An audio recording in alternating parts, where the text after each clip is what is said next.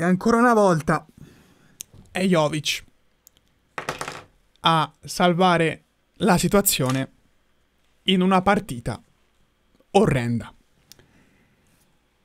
A volte va bene, a volte va male. È andata bene con l'Udinese, è andata male col Bologna, è andata bene stasera. E chissà come andrà in futuro. C'è tanto da dire, ragazzi, c'è tanto. Io a, a, a maggio così non ci arrivo. Adesso vi mostro una cosa. Vi mostro una... Un, non un video, una copertina. Vi mostro una copertina. Vi mostro... Me quest'estate. Me, me ne fregherà un cazzo, però ve lo mostro lo stesso. Questo sono io, ok? Tanto non ho bisogno di pubblicità, state già guardando i miei video. Questo sono io. E questa è la mia faccia, la mia espressione, le mie emozioni durante il trofeo Berlusconi. La, l'ultima partita prima della prima di campionato. Titolo del video, questo sono io ancora prima che inizi il campionato. Quindi ciò significava che i problemi del Milan non solo ce li abbiamo da inizio stagione, ma ce li portiamo dietro dalla stagione scorsa. Perché dai 5 gol col Sassuolo in casa, viaggiamo con una media di gol subiti a partita spaventosa. Gol. Gol. Che vi ho già ripetutamente detto che a parte invertite, io non sono sicuro che avremmo preso. Ma... Cioè, che, avremmo fatto, scusate, non, non sono sicuro. Ma per niente. Oggi ci sono altri due gol incassati. Sei gol incassati in due partite. In tre partite. L'Inter ha subito 10 gol in 23-24 partite. Bisogna vedere quanti ne prende domani sera, ma secondo me se arriva uno è tanto. Abbiamo preso 6 gol in tre partite. Il problema è la difesa? Problema sarà anche la difesa, ma tanto oggi Gabbia non solo ha giocato una gran partita come Udine, ma ti ha pure rimesso in piedi la partita. Io denuncio continuamente che il problema è il gioco, perché ragazzi, parliamoci chiaro. Il problema è la difesa, il problema sono gli infortuni. E tanto se il problema sono gli infortuni, la colpa è dell'allenatore. Secondo, queste figure di merda che giocasse Tomori, che giocasse Kier, che giocasse Calulu, che giocasse Ciao, che giocasse Pellegrino, che giocasse tua zia, che giocasse tuo fratello, che giocasse il prete della chiesa qua sotto. Li prendevamo lo stesso. Avete voglia voi a dire, eh, io vorrei giocare il derby senza la squalifica di Tomori? Prendi 5 lo stesso! Ne prendi 5! Ma pacifico! Vorrei rigiocare la partita col Bologna con la difesa titolare. Ne prendi due. E che così? Vogliamo andare a Napoli con tutti i titolari e ripareggiamo. Vogliamo andare a Lecce senza l'infortunio di Leo. Ripareggiamo un'altra volta che a tratti pure si perde. Intanto Jovic, quello stronzo, ha salvato Pioli un'altra volta. A parte Pioli è salvo a prescindere perché se anche le perdiamo tutte fino a fine stagione ce lo tengono. A Napoli l'hanno capito, a Roma l'hanno capito, a Milano non l'hanno capito. E, e sapete a cosa mi riferisco? A Roma hanno avuto il coraggio di esonerare un allenatore che gli ha portato una, la prima Coppa Europea della storia. E la Roma magicamente, da quando l'hanno esonerato, ha vinto due partite su due. Che poi tutto è da vedere, eh, perché il campionato è ancora lungo, però ho visto una Roma totalmente cambiata. Il Napoli, bene o male, si sta riprendendo. Infatti, domenica prossima, ragazzi, c'è Milan-Napoli, ma queste botte di culo di stasera, sognatevele proprio. Cioè, ve lo dico con netto anticipo, prima che voi ci rimaniate male e vi illudiate per niente che quello che abbiamo visto stasera e contro l'Udinese. Contro Napoli, dimenticatevelo proprio. Non, non, non ci sarà mai, non ci sarà mai. Poi leggo sui social, Milan deve puntare a vincere l'Europa League. Quell'altro coglione, quell'altro coglione in, in conferenza stampa che dice che ci sono i mezzi per salvare la stagione e poi va a Frosinone e gioca una partita così. Io non so che dire.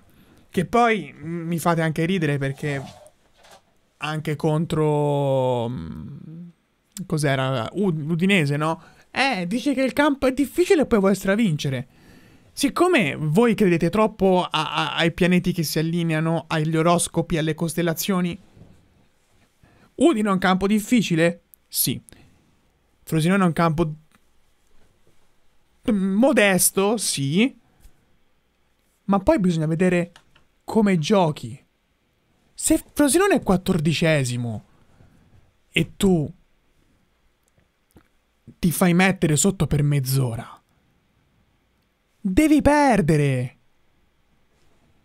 Ma siccome ti mettono sotto con la minima di, col minimo sforzo, è lì che ti fa rodere il culo. Perché poi, come il Milan è uscito un secondo, non l'ha solo pareggiata, l'ha addirittura vinta. Ma noi non possiamo andare avanti, ragazzi. Non possiamo andare avanti. Non possiamo andare avanti a sperare che ci sia il colpo nei minuti finali che comunque col Bologna, tolto il rigore per il Bologna, all'83esimo l'avevamo rimessa in piedi. Poi dopo è successo quello che è successo, meritatamente abbiamo meritato di pareggiare e guardate, quasi quasi avrei voluto pure perdere. Scendiamo nel dettaglio. Scendiamo nel dettaglio. Il Frosinone che già dopo un minuto mi ha fatto venire voglia di staccare la partita. Già 2500 buchi problemi difensivi. Che poi abbiamo questi problemi con Frosinone e con Udinese, io Napoli, Ren, Lazio, non, non, spero che quei giorni non arrivino mai. Si va si va avanti, troviamo gol sul primo tiro in porta della partita, dove Giroud onestamente fa un bel fa un bellissimo stacco di testa perché è l'unico modo con cui fa gol manco più su rigore segna. Andiamo avanti e cosa succede? Il terzo rigore contro. In un mese. Abbiamo avuto rigori contro Atalanta, Roma, Bologna. Anzi, il quarto, scusate. Atalanta, Roma, Bologna e Frosinone. Quattro rigori contro, ragazzi. Più i tre della prima parte di stagione. Inter, Borussia Dortmund e Udinese. Spero di non aver dimenticato niente. Siamo 9 rigori a 7. Di cui, di cui, il Milan ne ha sbagliati 3 e ne ha parati 0. Quindi siamo a 6 gol su rigore segnati e 7 subiti. Abbiamo in passivo pure i rigori. Pure quelli. Cioè, Megnan, paralo un rigore. E non, non, non ti chiedo di, di, di, di tirare fuori l'uccello e colpire la luna, ma cazzo, ma paralo un rigore! Paralo!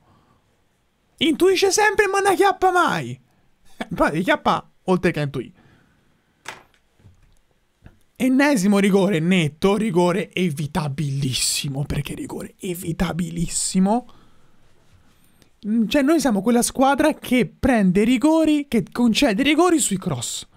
È una cosa di un vergognoso assurdo. Ora io posso capire il giocatore lanciato a rete, tira. Tira, sbatte sulla mano, rete lo devi buttare giù perché se no è, è rigore. Tutti i rigori sul lato corto dell'area, tutti sui cross. Tutti su cose che basterebbe stare veramente un pelino attenti e si eviterebbero subito come se col Bologna, se tu difendessi a modo quella palla non passa. Stasera Leao poteva anche lasciarlo cossare. La palla andava a fanculo. E niente, abbiamo dovuto dare rigore per forza. Primo tempo che finisce e secondo che inizia. Una prestazione, penso, le peggiori di questa stagione. Tanto che trovano pure il gol del 2-1 su una dormita assurda nata da una punizione per il quarto fallo di braccio della partita. Il Milan ha fatto quattro falli di mano, una cosa da Serie C, da Serie C. Megnan prende il secondo gol sotto le gambe della, in due partite. Prestazione di Megnan 3, punto. Voto 3. Perché poi ovviamente non ha fatto niente, forse ha fatto mezza parata nel primo tempo. Milan che esce fuori e qua vi voglio fare un appunto che ho fatto anche in live. Reinders si fa ammonire, salterà Milan-Napoli, ma non sarà l'assenza di Reinders a, a, a fottere quella partita, saranno tante altre cose, non vi preoccupate. Perché il Milan col Napoli non ci vince neanche se pregate in aramaico. Tranquilli. Reinders può tranquillamente giocare 90 minuti. Pioli deve fare entrare Benaser perché, come avete visto, è un centrocampista di tutt'altro livello.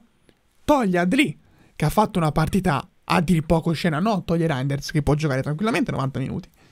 Toglie lui. Ok. Poi succede che Gabbia attacca lo spazio, Jovic attacca lo spazio, il Milan vince la partita e bene o male nel finale non subisce niente. Cosa molto rara da queste parti. Conclusione del discorso, tutta questa predica per dire che non c'è un cazzo da esultare che quando vedrete il video della, della live reaction domani, niente ragazzi, non si esulta.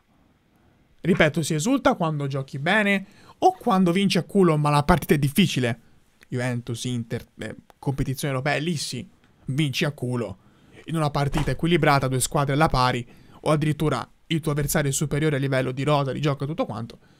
A parte sono tutti superiori a livello di gioco, però come squadra è più forte vince all'ultimo. Bene. Ma contro queste squadre, ragazzi, un conto è pronostico, un conto è la partita. Non c'è, non c'è cazzi. Non c'è cazzi. Ci vediamo domattina con la live reaction. Statemi bene. Ci vediamo, ragazzi. Sempre Forza Milan e Pioli out.